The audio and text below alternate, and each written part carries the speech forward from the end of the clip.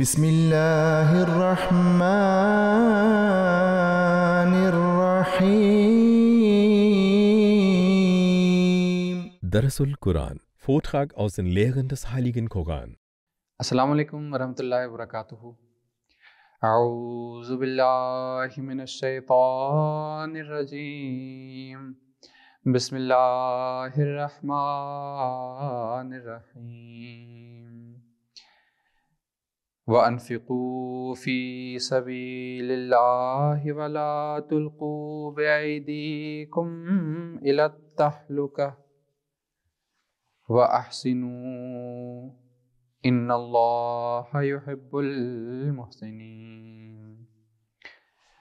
Spendet für Allahs Sache und stürzt euch nicht mit eigener Hand ins Verderben und tut Gutes. Wahrlich, Allah liebt die Gutestuenden.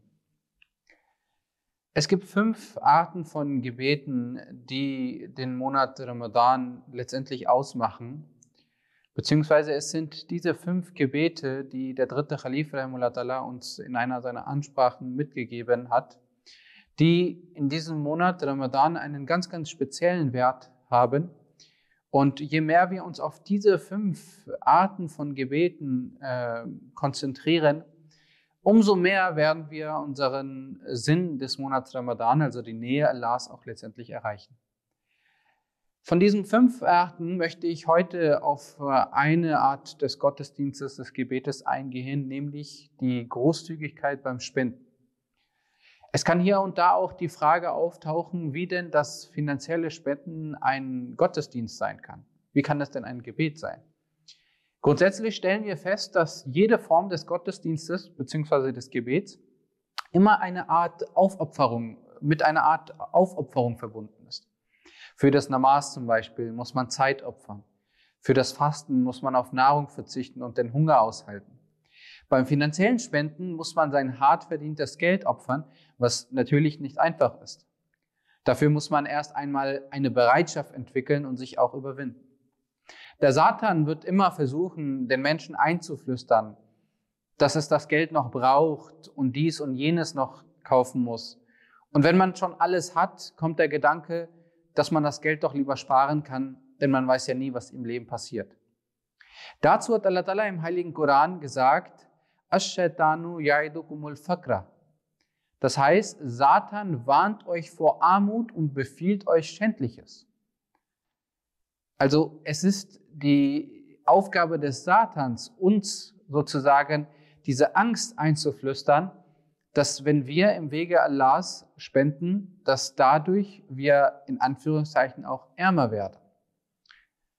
Während Allah in dem gleichen Vers weiter sagt, spendet es auf meinem Wege, gebet meinem Willen auch anderen Menschen ein bisschen von dem, was ihr an Geld habt, damit auch sie etwas zu essen und zu trinken haben.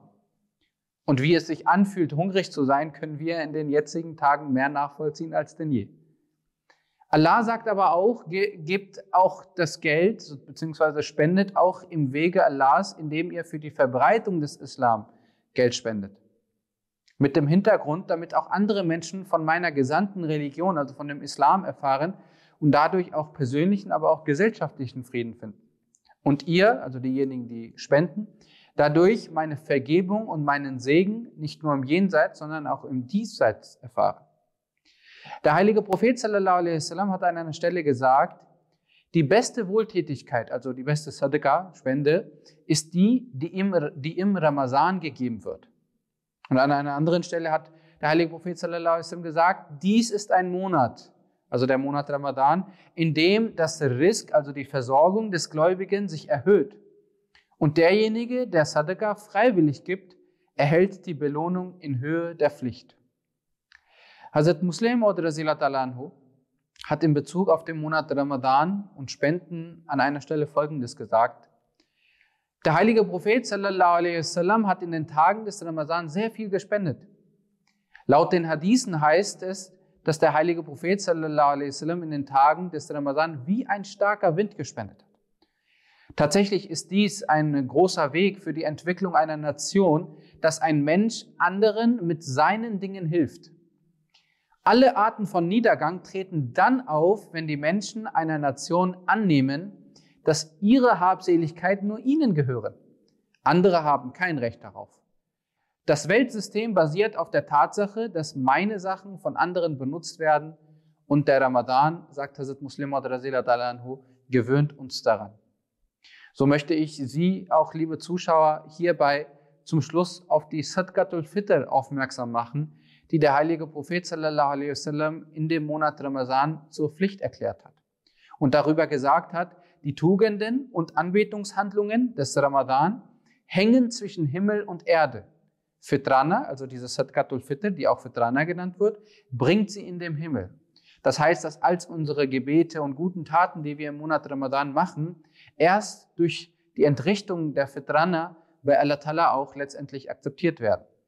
Diese Fitrana ist dafür da, dass unter anderem auch arme Muslime und Menschen, die bis zum Ende des Monats Ramadan äh, nicht viel Geld und äh, viele Dinge haben, dass sie auch ein glückliches Eid feiern können.